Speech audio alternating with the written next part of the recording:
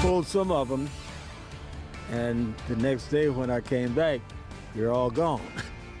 Stealing from community gardens. We're hearing from hardworking gardeners who say their gardens have been broken into, their fruits and vegetables stolen. A local mother and son tell their emotional story about bullying and hopes that other families won't let their children suffer in silence. Also, some big delays are coming tomorrow on one stretch of I 95. We'll show you how you can get around that big traffic jam. New tonight, an uptick in those stealing from community gardens. Good evening. I'm Ann Nyberg. I'm Darren Kramer. It has been happening around the state now. We're hearing from some local gardeners about this problem tonight. News 8's Bob Wilson live in Hartford with their reaction to the recent thefts. Bob. You know, right now as you get ready to go to bed, you're thinking maybe about your garden and the squirrels in there that might be getting at those tomatoes. However, across the state, thieves have been getting into gardens, taking not only corn, but okra and tomatoes as well.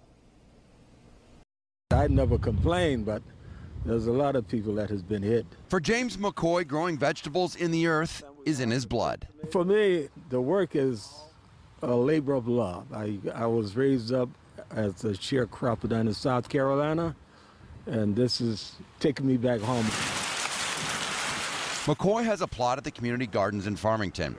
He's there almost every day attending to the tomatoes, the corn, the sweet potato, the okra. But he, like many other gardeners, has been a victim of thieves. Someone stole his collard greens at harvest time.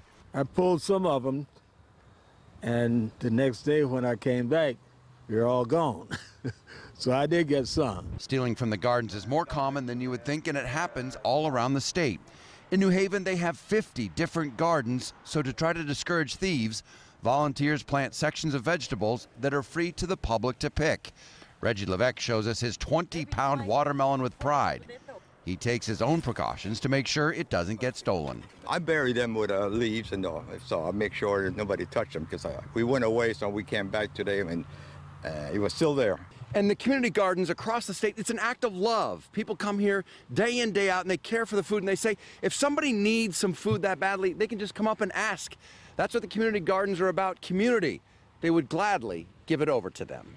We got plenty food to share with it. If somebody wants something, could just ask it, you know, and no reason to come and take it, you know.